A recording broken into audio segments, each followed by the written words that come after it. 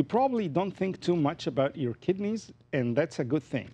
It means that they're working, and you want it to keep it this way. Having kidney problems can result on variety of health problems and can be also fatal sometimes. And here is seven tips to keep your kidneys healthy. Number one, stay hydrated. Water is very important component for our body function, so it's a good idea to make a habit of having a glass of water when you can.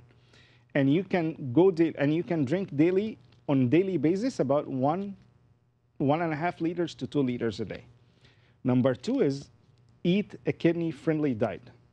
Healthy kidneys and heart diet consist of less sodium, fruits and vegetables, and omega 3 fatty acids rich food.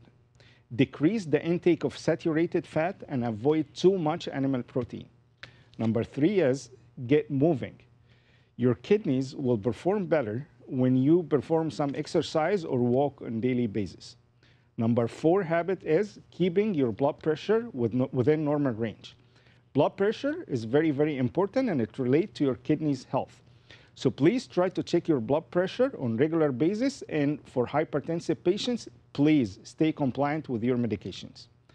Number five, regular check for diabetics and heart disease patients. Diabetics and high blood pressure are the most common cause for kidney disease.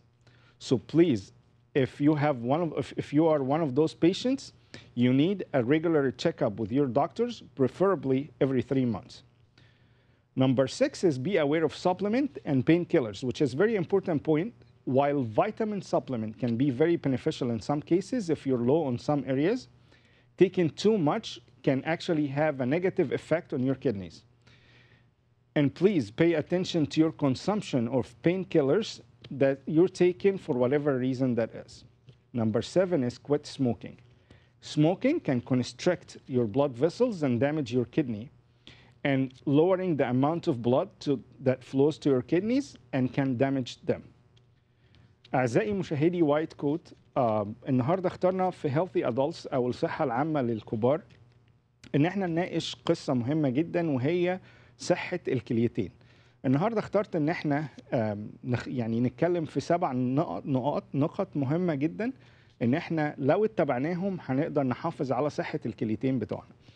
الحقيقة رقم واحد في في النقط دي ودي نقطة مهمة جدا إن إحنا دايما نحافظ على معدلات السوائل وبالذات المية في جسمنا اللي هي فكرة الهايدريشن ومهم جدا إن إحنا نعرف إن المية هي أكبر صديق للكلى بشكل عام مهم كمان نعرف إن إحنا لازم نكون عادة إنه حتى لو حضرتك مش عطشان لازم تشرب كوباية مية تخليها جنبك إزازة مية صغيرة تخليها جنبك وتحاول تجبر نفسك إنك تشرب تقريبا من واحد ونص لاتنين لتر في اليوم.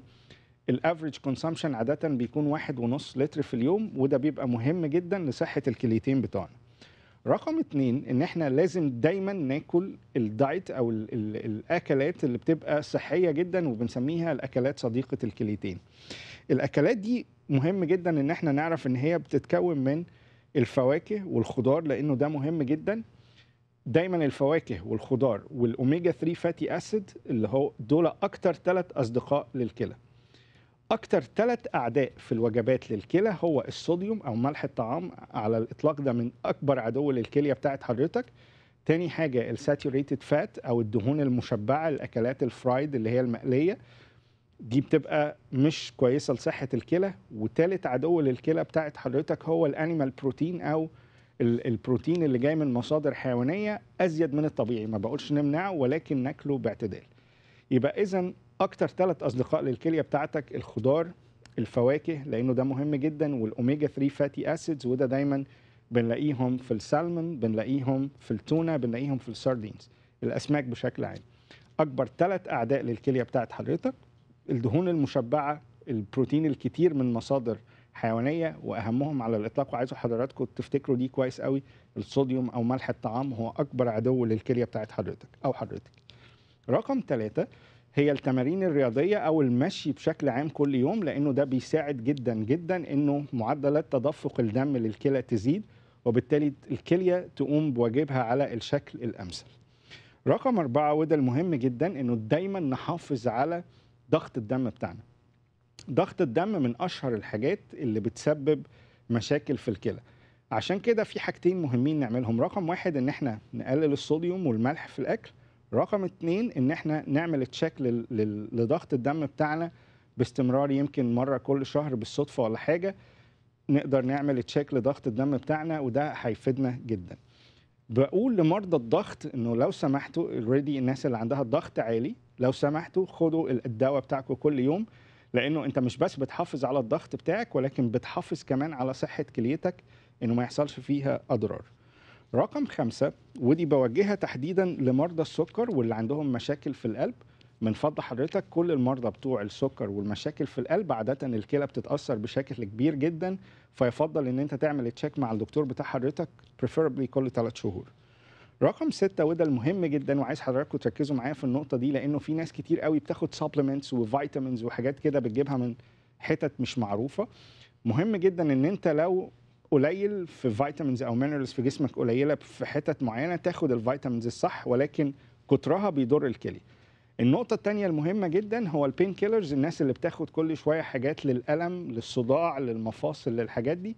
خلي بال حضرتك إن كل الأدوية دي الايبوبروفين والكلام ده كله بكميات أكبر من الطبيعية هيضر الكلى بتاعت حضراتكم فمهم جدا إن أنتوا تركزوا في النقطة دي.